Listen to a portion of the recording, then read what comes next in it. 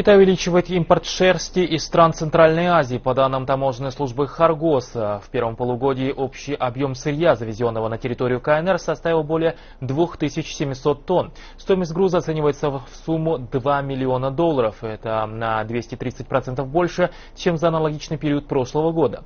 По официальным данным, Китай является мировым лидером среди покупателей шерсти. Ранее большую часть данного товара КНР закупал у Австралии. Однако в последнее время в связи с изменением ценообразования и переориентированием рынка приоритеты среди поставщиков изменились.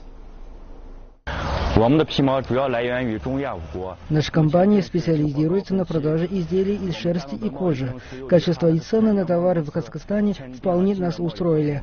Поэтому мы заключили договор с одним из казахстанских поставщиков на приобретение 3000 тонн шерсти. По нашим прогнозам, к концу этого года объем закупаемой шерсти увеличится в пять раз. Цены на австралийскую шерсть в последнее время очень выросли по сравнению с центральноазиатским сырьем, которое гораздо дешевле. К тому же способствует увеличению товарооборота развития транспортной инфраструктуры между Китаем и Центральной Азией.